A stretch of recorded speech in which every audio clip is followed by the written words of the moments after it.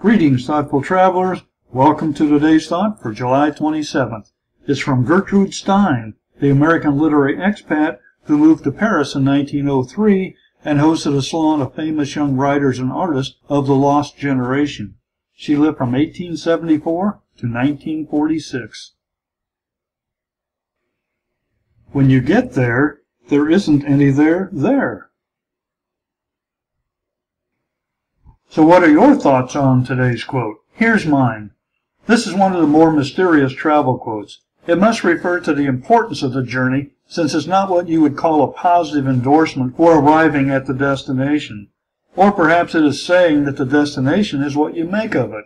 The there that was promised to you only materializes when you help make it happen. Or perhaps since Gertrude Stein is most famous for writing a rose is a rose is a rose, and by any of the name is still a rose, she just likes to repeat herself. One thing's for sure, she wouldn't have made much of a tour guide.